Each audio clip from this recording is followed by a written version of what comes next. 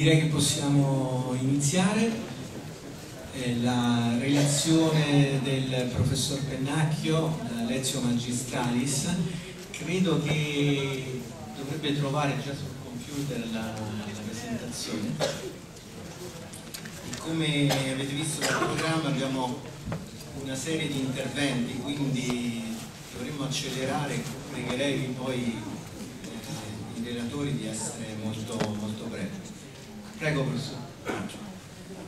Grazie, buonasera a tutti. Grazie per l'invito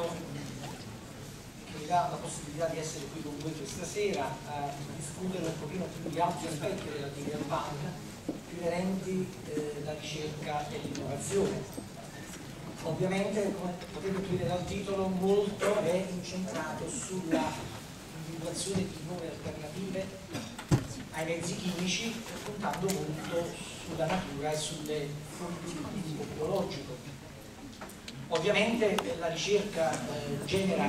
innanzitutto conoscenza e dalla conoscenza è possibile sviluppare delle innovazioni in modo molto più eloquente e sicuramente di auto, autorevole e sostanzialmente la luce che faccio cerco e il beneficio. Le due cose non sono assolutamente separabili, assolutamente non separabili. Quindi in, una, in un mondo eh, dove la ricerca si muove alla, cioè,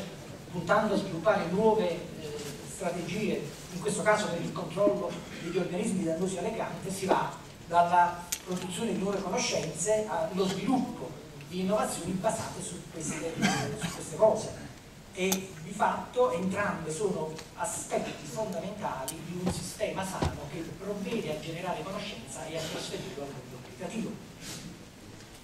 Sostanzialmente la consapevolezza di eh, dover generare nuove conoscenze con la ricerca è ben definita nel piano strategico per l'innovazione e la ricerca in agricoltura, dove possiamo ben vedere come i primi tre punti della lista delle cose da sviluppare come esigenze di nuove conoscenze è l'individuazione di organismi utili, vedete quali, artropodi, nematodi, predatori ed entomopatogeni, ma non solo efficaci contro le avversità delle piante, ma anche studiare i meccanismi alla base della loro azione predatrice e parassitaria come forma di nuova conoscenza sulla quale vedremo è possibile sviluppare innovazioni finalizzate al controllo degli organismi dannosi. Lo stesso vale per i microorganismi dove oltre all'individuazione del microorganismo si vuole comprendere come questo microorganismo di fatto aggredisce il suo ospite e lo utilizza ai propri fini. Inoltre lo studio di nuove classi chimiche derivanti anche da fonti naturali che ovviamente abbiano un impatto tossicologico ambientale estremamente ridotto e limitato. Ed è proprio su questi punti che articolerò gran parte della mia presentazione andando poi ad evidenziare come una valutazione attenta dell'impatto sugli organismi non versatili è estremamente importante ai fini dello sviluppo di innovazioni sostenibili per la difesa delle piante. Di fatto eh, l'identificazione e l'utilizzazione degli insetti biologici e il controllo biologico sono una disciplina, oserei dire, antica, non è una novità, almeno nel campo entomologico, che è il settore di studi di cui mi interesso, è eh, un campo estremamente eh,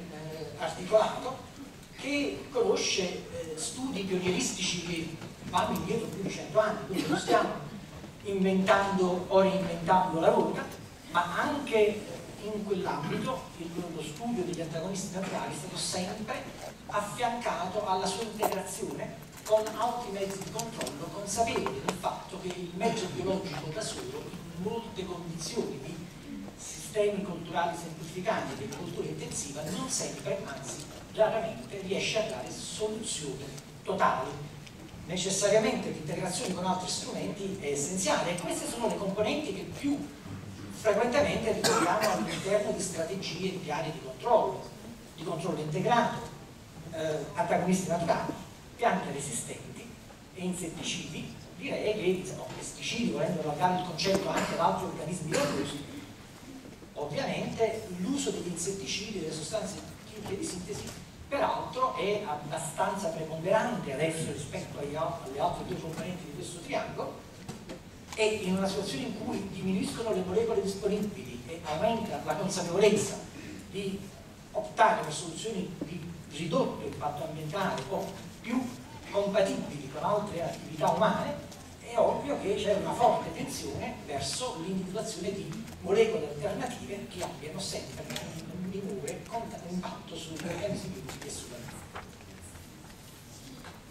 Quindi è dallo studio delle associazioni antagonistiche che possono venire fuori una serie di interessanti applicazioni. Qui ne vedete solo alcune di queste possibili associazioni antagonistiche tra insetti e piante, insetti e nemici naturali e entomopatogeni, questi semplicemente per citarne alcune. E eh, di fatto lo studio di queste semplici interazioni può indicare, può dare delle importanti indicazioni su come sviluppare alternative forme di controllo. Partiamo dal, dall'interazione insetto-pianta molto rapidamente per cominciare a guardare cosa si conosce da un punto di vista meramente accademico di questo continuo confronto tra l'insetto e la pianta, pianta che contrariamente agli animali non può fuggire sempre scappando, ma ha delle difese chimiche estremamente potenti e difese chimiche che sono diverse a seconda del tipo di attacco che la pianta subisce ci sono diverse forme di fitofagia, ci sono insetti che di fatto non attaccano la pianta ma rompendola, causando danno meccanico, ma riducendo al minimo il danno meccanico. Bene, senza entrare nei dettagli funzionali, la pianta è in grado di rispondere a queste aggressioni con la produzione di sostanze che hanno un effetto diretto sull'insetto fitofago, ma la modifica del metabolismo indotto associato a queste alterazioni a queste risposte di difesa comporta anche una diversa composizione del profilo dei volatili rilasciato da questa pianta che viene sfruttato da nemici naturali dei fitofagi per localizzare la propria vittima, per localizzare il complesso pianta-fitofago.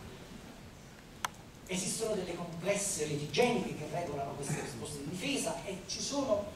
conoscenze crescenti in questa direzione abbiamo informazioni molto dettagliate sui fattori igienici di risposta alle aggressioni che le piante subiscono da diverse forme di fitofagia degli insetti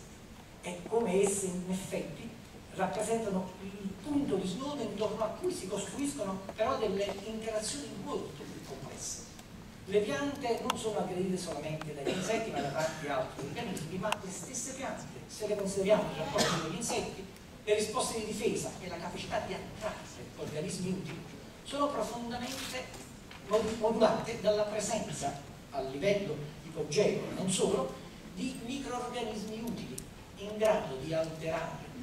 la capacità della pianta di rispondere alle, agli agenti di stress biotico della parte tigea e di fatto rendere la pianta più o meno capace o di crescere o di rispondere a questi agenti di stress. Capirete benissimo che i microorganismi presenti nel terreno, che vedete citati alcuni, funghi microfitici, microfrizzi, TGPR, ce ne sono veramente tanti e molti di questi organismi benefici sono in grado di rendere la pianta capace di crescere meglio e di rispondere meglio alle aggressioni da parte di agenti biotici di stress, ma anche renderla anche più capace di attrarre organismi utili producendo profili volatili completamente diversi in risposta alle colonizzazioni radicali da parte di questi microorganismi.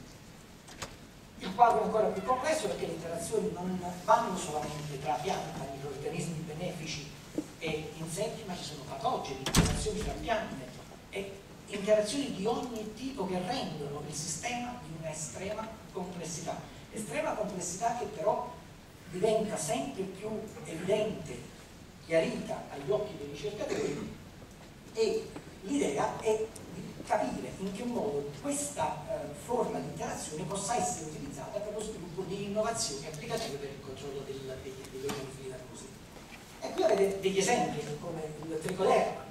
questo fungo benefico che eh, colonizzando le radici eh, del, del piante coltivate induce, promuove crescita, induce eh, resistenza nei confronti di eh, patogeni, può essere esso stesso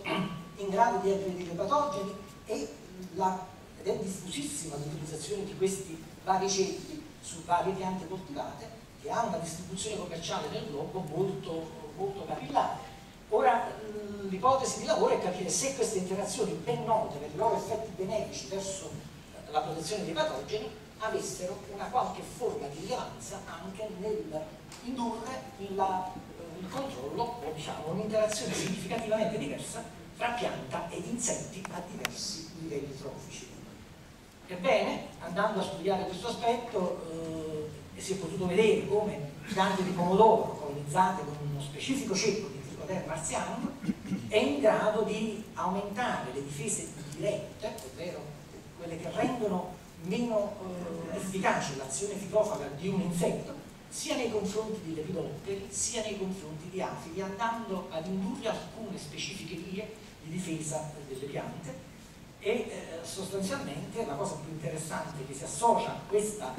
a, questo incremento delle difese dirette è anche un incremento delle difese indirette in quanto la colonizzazione radicale induce una, un rilascio di volatili che risultano attrattivi nei confronti di un nemico naturale degli afidi, la Phyllis epica, un imenotero draconide.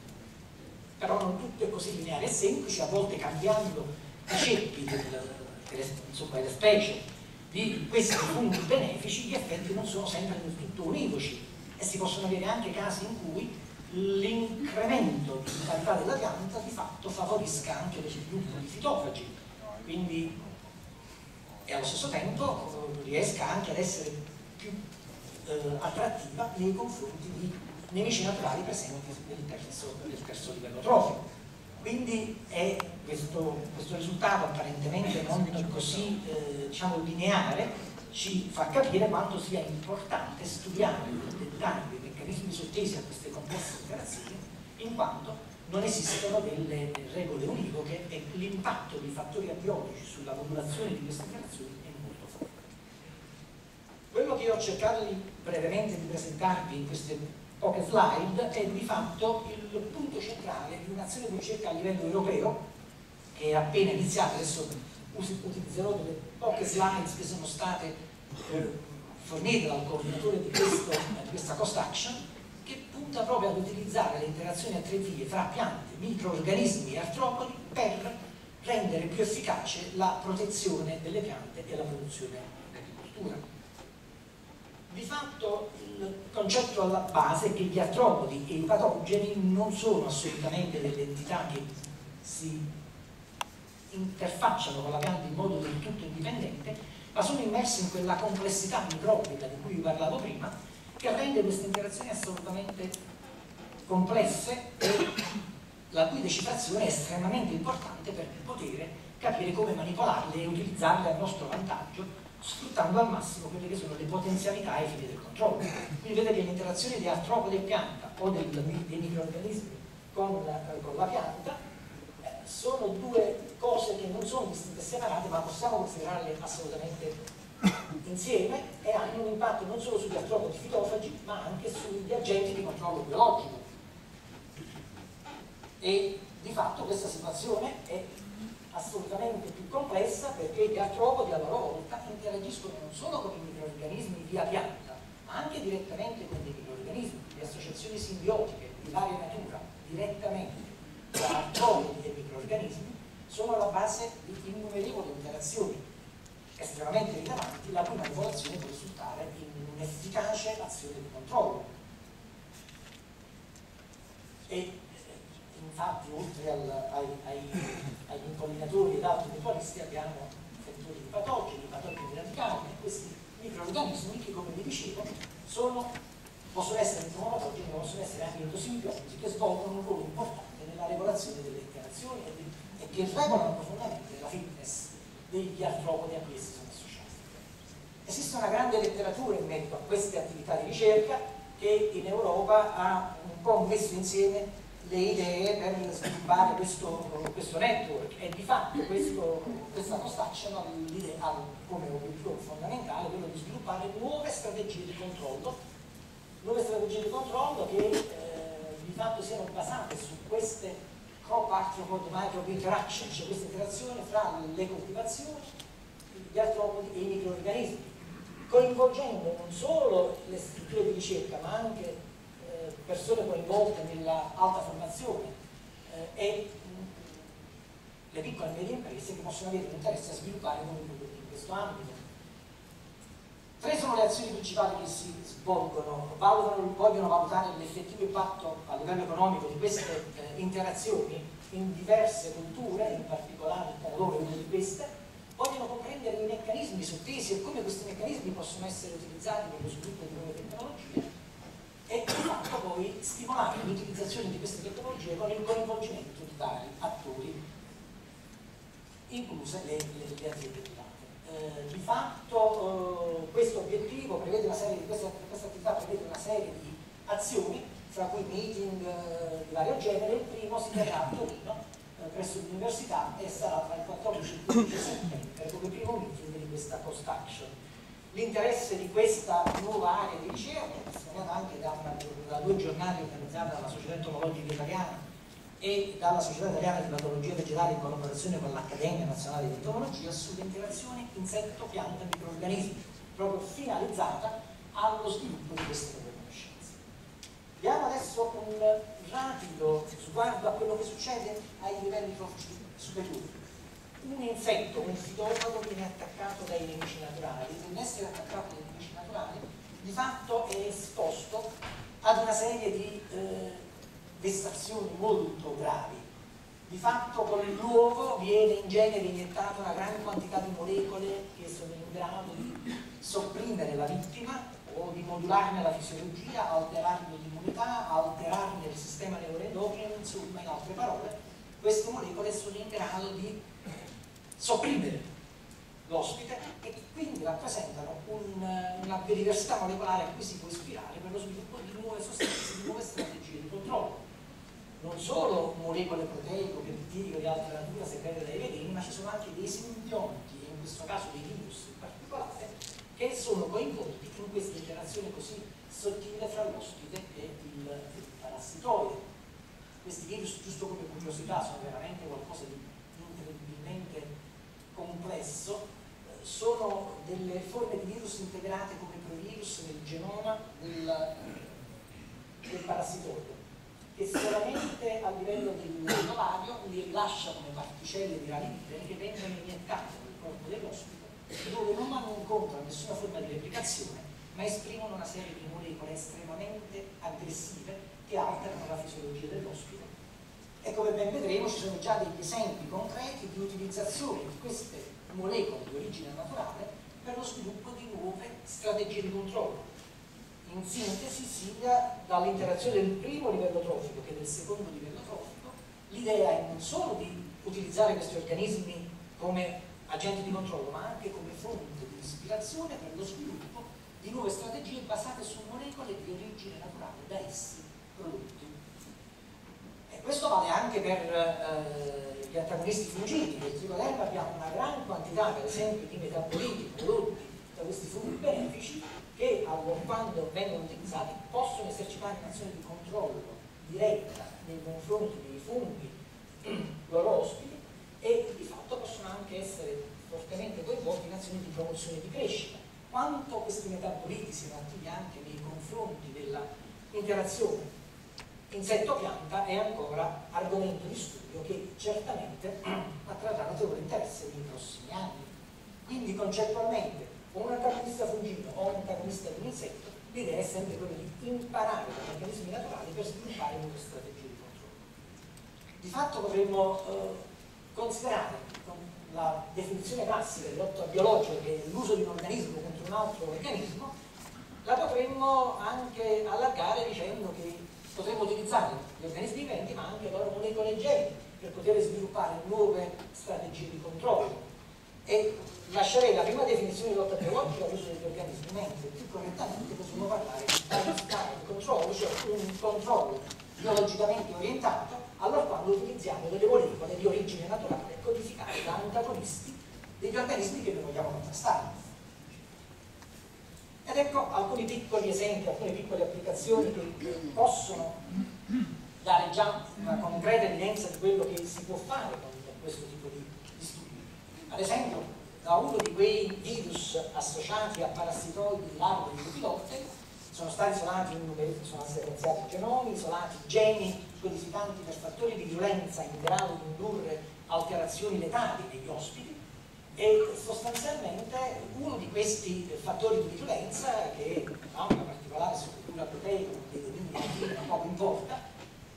è stato utilizzato per marcarne la tossicità orale eh, notando che eh, di fatto utilizzando piante eh, transgeniche ma esclusivamente come strumento di studio non assolutamente come, vettore, come elemento finale di sviluppo si è potuto comprendere che queste sostanze allora quando vengono ingerite esercitano una notevole azione insetticida, come potete vedere da queste curve di sopravvivenza. Queste due sono relative a, eh,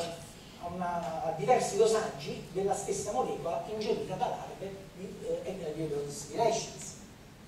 di Spodoptera litorale sangue, non solo di Spirations. Abbiamo studiato il meccanismo di azione e non è un'azione che si esercita attraverso un meccanismo di tossicità dovuta all'interazione con il recettore che noi aspettavamo, ma di fatto i domini bianchina consentono un'interazione con l'epitelio intestinale causando un'otturazione dell'intestino e un ridotto o nullo assorbimento di nutrienti, in particolare amminoacidi, e questo si, di fatto si concretizza nel ridotto sviluppo nel ridotto accrescimento e nell'elevata mortalità delle larve esposte a queste forme di nutrienti. Quindi vedete come in effetti uno studio attento del meccanismo di azione di una sostanza di origine naturale può mostrare che l'attività viene esercitata attraverso vie del tutto inattese, in quanto noi ci aspettavamo il passaggio attraverso l'epitelio intestinale che può avvenire anche se in modo limitato, ma che in questo caso non è avvenuto e quello che è successo è quello che vedete in questa rappresentazione grafica senza nessun dato sperimentale dettagliato. È anche possibile eh, più recentemente sono una serie di interventi finalizzati a bloccare lo sviluppo degli insetti alterando l'espressione di gene in modo estremamente specifico. Questo strumento di studio molto potente ha già mostrato quali sono le potenzialità di questa tecnologia per il controllo degli insetti, ma ehm, noi lo stiamo utilizzando più che altro come elemento, come strumento di studio che ci ha consentito di eh, sviluppare un'altra strategia biomimetica, che è quella di andare a negli studi di interazione ospite-parassitoide abbiamo individuato un gene dell'ospite che è coinvolto nella risposta immunitaria, che è un target primario dell'azione parassitaria. Noi vogliamo, abbiamo minato l'effetto del parassitoide andando a bloccare l'espressione di questo gene. Qual è l'obiettivo sostanziale? Che una larva immunosoppressa è una larva che non muore, apparentemente la larva rimane lì, disponibile per i suoi nemici naturali nel momento in cui viene aggredita o viene colonizzata da un patogeno, il patogeno è 7, 8, 10 volte più efficace nei confronti della larva. Cosa significa questo? Che questo tipo di approccio non sottrae vittime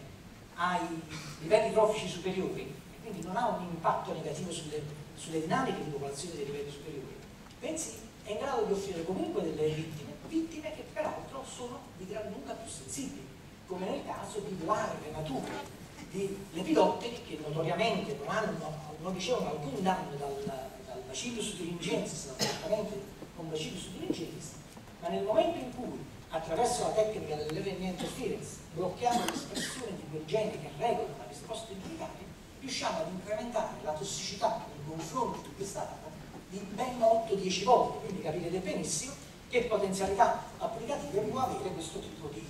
studi. E qui vi ho anticipato il risultato, qua vedete come a confronto con eh, i vari controlli,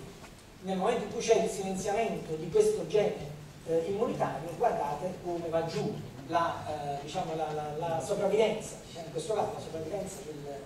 delle larve trattate rispetto ai controlli che risultano praticamente quasi per tutti insensibili rispetto al, eh, al trattamento di bacillus thuringiensis o anche altre forme di eh, tossine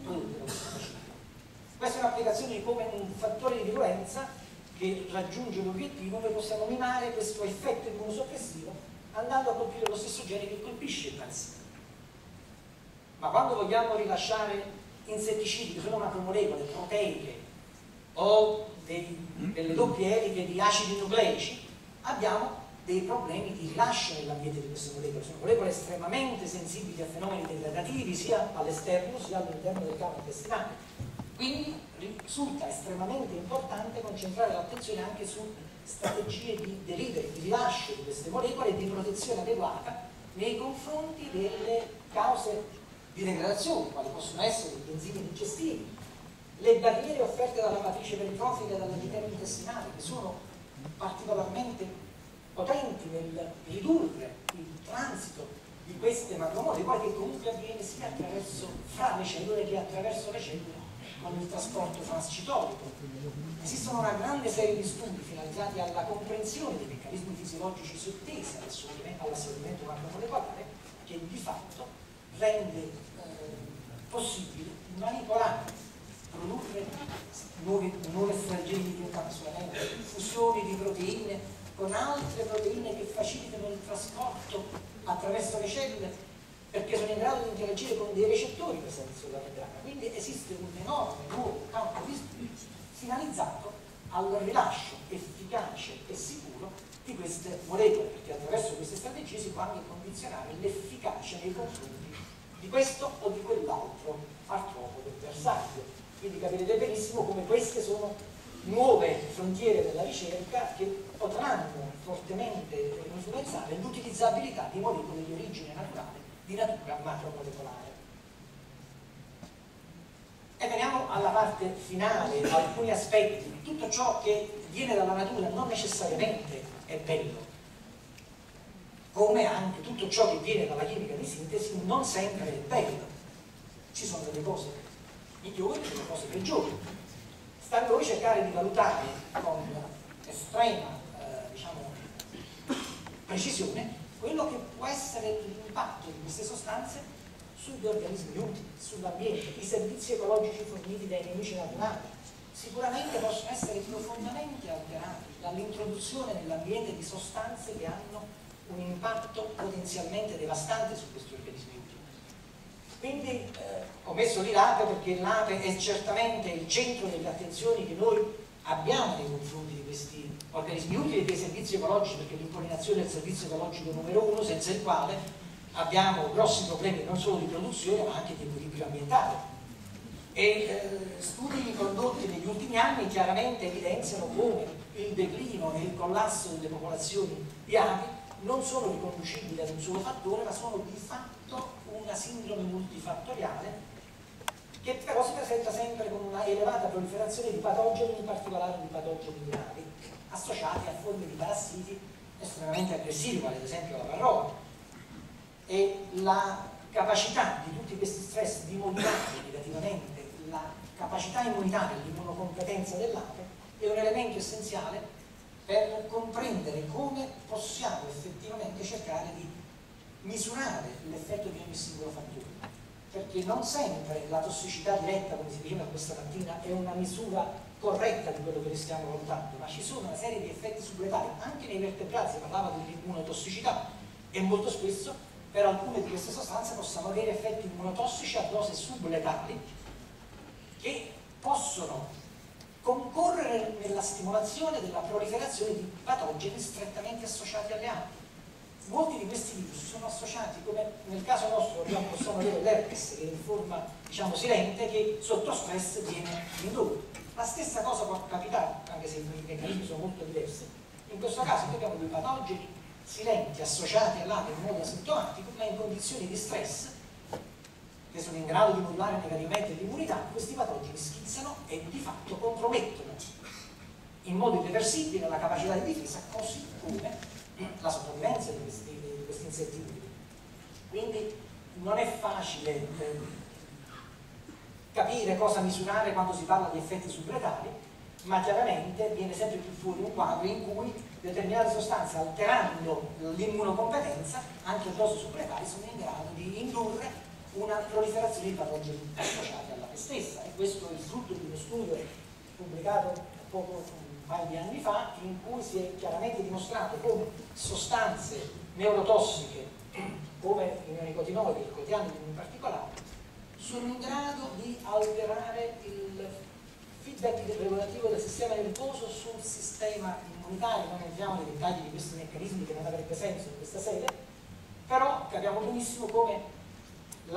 l'esistenza di meccanismi di controllo mutuo fra sistema nervoso e sistema immunitario possa essere alterato da sostanze neurotossiche, anche a dosi subletali. Questo aggiunto al quadro precedente ci dice una cosa, che i neonicotinoidi, gli insetticidi in genere, anche a dosi basse, possono concorrere nel determinare una sindrome complessa associata al declino del, diciamo, delle popolazioni bianche ma sarebbe insomma, non corretto pensare che fossero l'unica causa, assolutamente non è così, però una valutazione attenta di questi effetti che spesso non vengono considerati per mancanza di conoscenza è un limite importante che di fatto rende alcune discussioni in fase formale estremamente complesse, contorte, la carenza di conoscenze rende viziosa anche, tra non solo la carenza di conoscenze, rende viziosa una discussione che ormai sappiamo va avanti da molto, molto tempo. Concludo molto brevemente con alcune considerazioni, come l'importanza di studiare la natura, le interazioni fra le piante, insetti o diciamo patogeni e i loro antagonisti naturali, in quanto questi meccanismi, le molecole coinvolte, sono potenzialmente fonte di nuovi strumenti e nuove tecnologie by inspired, una parola ispirata in italiano non funziona tanto bene, ma ispirate biologicamente, dei sistemi biologici, quindi non solo l'uso degli organismi, ma anche delle molecole, dei geni e delle interazioni che questi organismi hanno con altri antagonisti. È fondamentale sviluppare strategie di rilascio che consentano la valorizzazione di queste molecole e la loro utilizzabilità in condizioni di efficacia e sicurezza qui sono studi di fisiologia di base sull'assorbimento e sul trasporto intestinale, ma che sono essenziali per la definizione di nuove strategie di rilascio ambientale di molecole di natura proteica o di altra natura macromolecolare. E infine eh, è essenziale una valutazione dei rischi che sia sempre più supportata da conoscenze scientifiche rigorose e che non siano dei protocolli standard per valutare è morto o non è morto, perché gli impatti su complessi servizi ecologici forniti da una serie di organismi associati ai nostri organismi utili sono di un'estrema complessità di cui voi avete apprezzato in minima parte quello che vi ho potuto trasmettere in questi 30 minuti di discussione, ma che sicuramente rappresentano un oggetto di studio di estremo interesse scientifico, ma che ha dei risvolti applicativi di enorme eh, potenzialità che certamente vale la pena sfruttare nei prossimi anni. Vorrei semplicemente concludere Dovrei ringraziare tante persone con cui negli anni abbiamo sviluppato idee, progetti, ehm, lì all'Università di Napoli con i patologi, il professor Lorito, giusto un nome che mi viene in mente, ma ce ne sono tanti altri, il CNR, Emilio Guerrieri che da anni ha cominciato insomma, a interessarsi su alcuni di questi argomenti, e però vorrei anche ricordare una persona che di fatto in modo molto visionario, più di vent'anni fa, più di trent'anni fa, ha cominciato a parlare di queste cose quasi con un'intuizione che solo chi ha una profonda conoscenza degli argomenti trattati può avere. Il professore Tremblay non so quanti di voi lo conoscono, ma insomma credo sia eh, doveroso ricordarlo e ringraziarlo, così come vorrei ringraziare voi per la vostra